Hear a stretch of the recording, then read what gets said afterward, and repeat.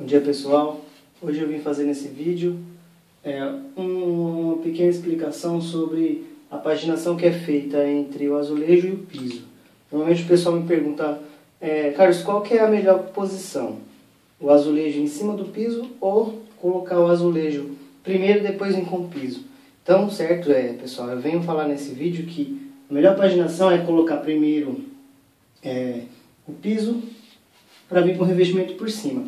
A paginação correta é sempre feita é, com o azulejo vindo. Primeiro você faz a colocação toda, deixando sem colocar a, a primeira peça, né? Do jeitinho que está aqui, ó. Eu coloquei todo o azulejo, depois eu vim com a parte da colocação do piso para deixar a última peça para fazer a paginação. Por quê?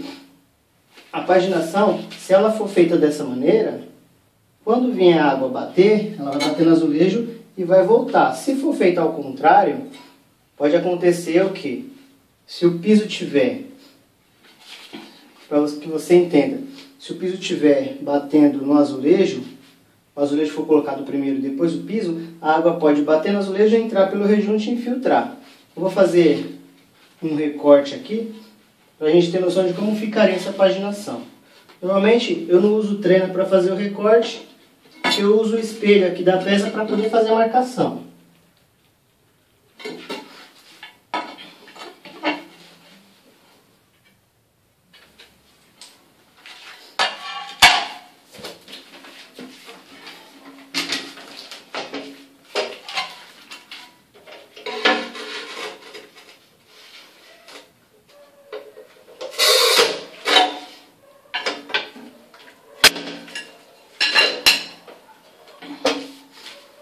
Então essa aqui, ó,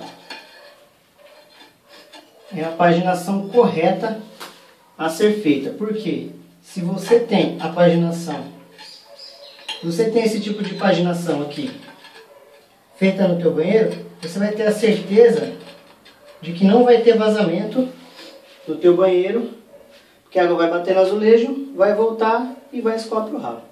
Então, gente, é isso aí. É, gostei de de estar compartilhando esses vídeos com vocês. E eu vou estar sempre fazendo vários vídeos aí para poder ajudar a gente na obra. Se gostou do meu vídeo aí, dá um like e se inscreve no meu canal.